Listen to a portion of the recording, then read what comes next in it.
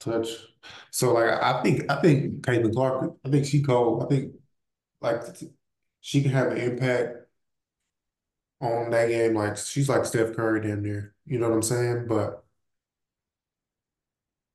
I think what I just want to really want to talk about, like the, this is like this thing called like to me it's the perfect storm. Like I just feel like there's been a I get what you're saying. there's been a ton of cold girls, too, a ton of cold white girls too. Like Dana Sue Bird, like you know what I'm saying? Yeah. Like Diana Taurasi, like um, uh, what's her name? I can't. You see what I'm saying? Like even even in this draft. I do get I do get what you're saying.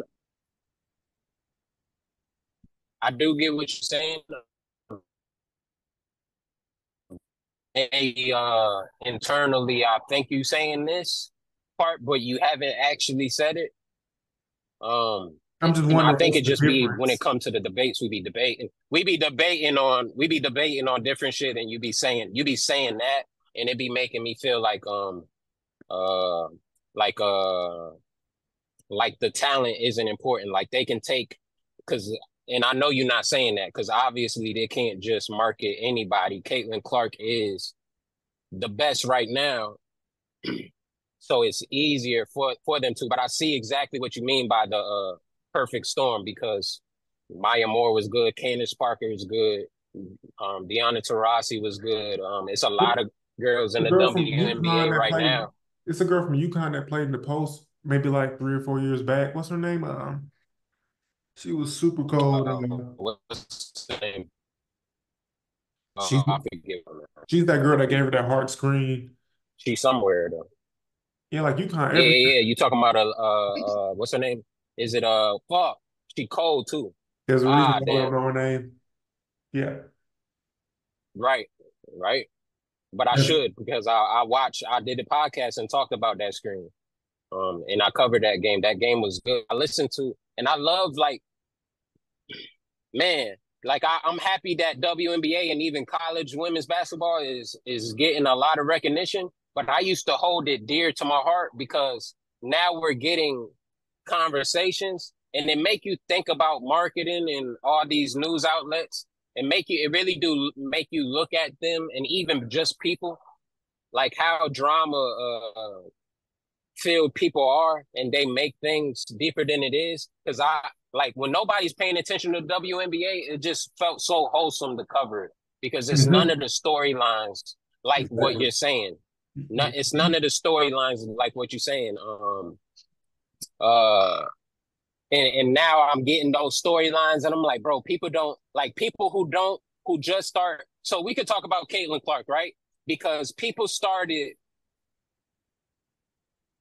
people really started following college basketball for a lot of different reasons. One of it was because I think it starts with uh uh because again, I watch college basketball women's more than more than the dudes recently, and I uh, I started watching WNBA probably heavy the last eight years, um, just because it be in the summer and nothing else be on. And they the reason why I fuck with women's college basketball because it be team basketball, and I just like watching team basketball sometimes.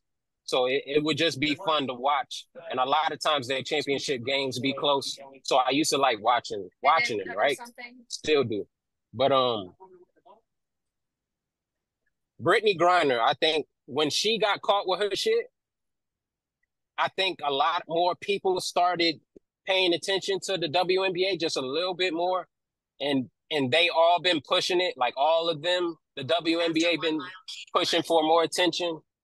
Um, and then I think Angel Reese and that LSU team and and uh Flau'jae, the the uh, rapper, Mhm. like in the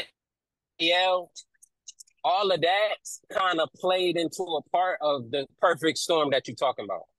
So it's Yeah. a lot of people who who hasn't paid who haven't paid attention to women's basketball at all, It's Magic and they started Magic and they started right, and they started when um Angel Reese and LSU won the championship, and because Angel Reese was the best team player on that team, and it was arguably um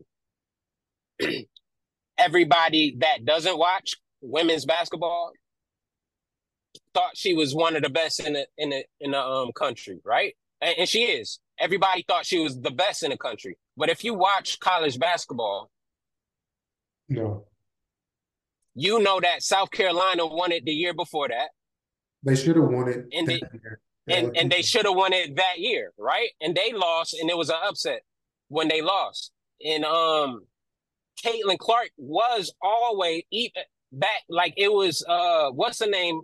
She plays with her now, which is why it's so stupid. People don't understand the shit, and they start talking shit, and it doesn't make sense. The Indiana Fever, the reason why they so trash is because they've been trash, and they had the number one pick before, and that's and that's who um she plays with now and she came from South Carolina. I forget her name. I'm horrible with the girls' names. I really am. The Um, black girl, so had, much. uh, maroon dreads. but- She's a forward. You talking about Aliyah Boston? yeah, Aliyah Boston. Uh, Aliyah Boston. That, Yeah. that is that who she is? hmm She she was she. Everybody was called in the beginning of the season. Everybody was saying she's she's up there with Caitlin Clark. And Caitlin Clark always been a real good guard, and she always was nice from three. She started stepping back a little bit more, and that and that and that was during the that was during the same season. So it's real funny, like how you said they definitely um college basketball and even now the WNBA have definitely pushed her. And I don't know if she would have got this much push if it wasn't for the surge of it. But is the Angel Reese really is a very good personality. She not the best, and people don't notice that she's not the she wasn't the best player Quick question, Lou.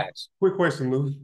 Why is it that they victimized Angel Reese, But didn't but when I guess when they were matching up, I guess at that point in time, why was it like she was the victim? They were victimizing.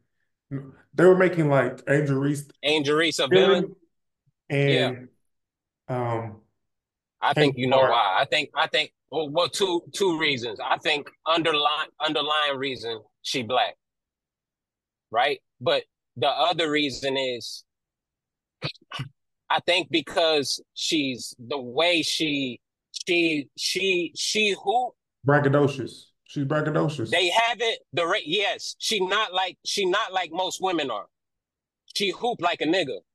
So she talks shit like a nigga. And that and in women's sports is predominantly the coverage of it, the the media around it is predominantly white women and men. So they don't like that. Anytime you see, especially if you're a woman, anytime you see a woman being comfortable, a black woman especially, and not being humble, they don't they don't like that. So I think that's why. And and it and and it and I seen that. Caitlin Clark, Caitlin So, Clark has that same type of braggadocious, too. energy. She, she has that this. same- Yeah, she has that- Ah, I just shot with a nigga. Yeah, she she got the same energy, and they love it when she do it. But when Angel Reese do it, they don't like it. So it get and it and it uh, it's always an interesting conversation because you know people say who's better, and I and and um Caitlin that's a a better debate on its own. Yes, for sure. I I, I think I so think- too. But Angel Reese is so good, so it's a lot of people think Angel Reese is better, and that's a Nah, con- man. So a lot of people Reese smoking Caitlin, man. What you talking about, bro? I already know your ass. All I'm saying is this: if I'm the WNBA, I am finding everybody that keeps hitting her, and that it they're stopping their own money. They need to let Nah. give- let this white girl hit 100 points in a game. So next year you can make more money. Yeah, she she growing the league. Let this The way woman hit Eminem- 100 points in The a way game. Eminem, the way Eminem grew rap, nigga.